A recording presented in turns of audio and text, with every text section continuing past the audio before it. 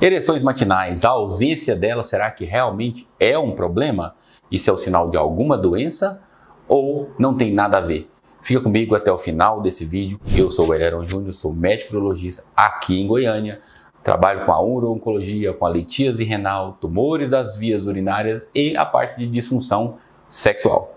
Se você ainda não se inscreveu nesse canal, quero te convidar, se inscreve aí agora, deixe o seu like, comentário, sugestão, até para a gente poder gravar outros vídeos com a sua dúvida.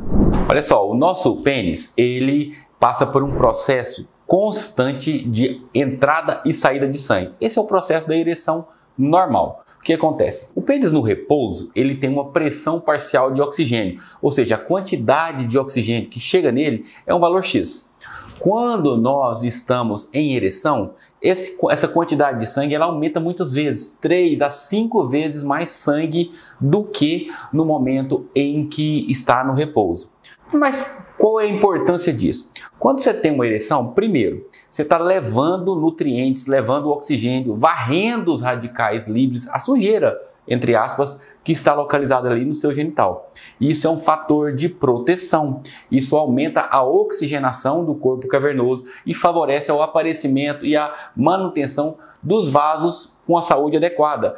Isso tira aquela sujeira, os radicais livres de oxigênio e me melhora a oxigenação dos sinusoides que tem dentro do corpo cavernoso. Quando nós não temos a ereção matinal e a ereção noturna, isso é um sinal de alerta. É claro que nem sempre, quando essa ereção desaparece, é um sinal de que alguma doença está aparecendo. Por exemplo, a pessoa está no meio de um processo de luto, perdeu um parente, perdeu uma esposa, aí ele pode, durante um período, ficar sem ereção matinal. Por quê? Porque ele está tendo uma descarga de adrenérgica por conta do processo de perda. Ele está passando por um problema no emprego, aí ele tem uma descarga adrenérgica, aí ele pode não ter durante um período essas ereções matinais e noturnas. Porém, a permanência de, desse quadro durante um período prolongado pode ser um sinal de que existe uma doença né, que antecede ali uma disfunção erétil. Então, o que está acontecendo? Quando o homem começa a perder com frequência essa ereção matinal, significa que ou ele está tendo um déficit hormonal, ele não está tendo um sono que repousa, ele não está conseguindo entrar no sono REM, e é no sono REM que nós produzimos a maior parte dos hormônios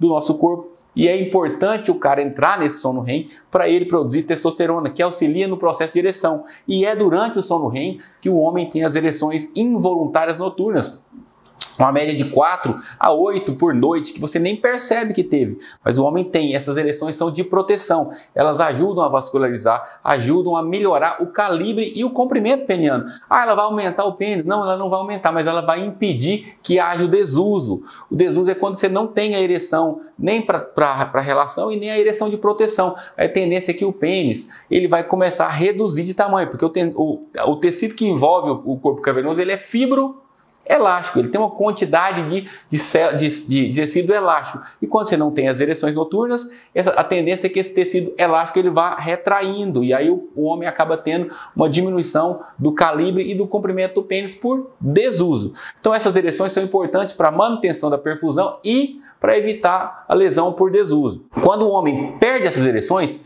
é sinal de que alguma coisa está acontecendo. E aí nós temos que investigar. Passou um período, você saiu do quadro de ansiedade, e as ereções não voltaram, você tem que procurar um especialista. Porque aí ele vai avaliar a parte hormonal, vai avaliar a parte circulatória do pênis, ele vai olhar se existe alguma doença metabólica que está contribuindo para aquilo, se existe alguma doença orgânica em cima daquilo, se foi algum trauma que você teve, se está passando por algum problema psicológico que está afetando a qualidade das ereções. Por quê? Porque o quanto antes essas ereções retomarem, melhor vai ficar o seu processo de ereção. As pessoas que, real, que realmente têm alguma doença orgânica, um diabetes, por exemplo, quando esse diabetes fica descompensado por uma longa data, a tendência é que ele comece, primeiramente, a perder as ereções matinais. O homem que cai o hormônio, que está com a testosterona baixa, é normal que ele acorde de manhã e ele não perceba mais as ereções matinais. Todo homem com baixa de testosterona vai perder ereção matinal? Não, nem todo, mas ela é um sinal de alerta. Daí a importância dessas ereções como proteção. Então, se você perdeu essa ereção, tem mais de 30 dias, está sem ereção nenhuma, né, acorda de manhã, não tem ereção, não percebe as ereções noturnas, é hora de você procurar o urologista para fazer uma avaliação geral. Tá bom? Então a ereção matinal, ela realmente ela é importante e ela reflete a saúde do homem, ok?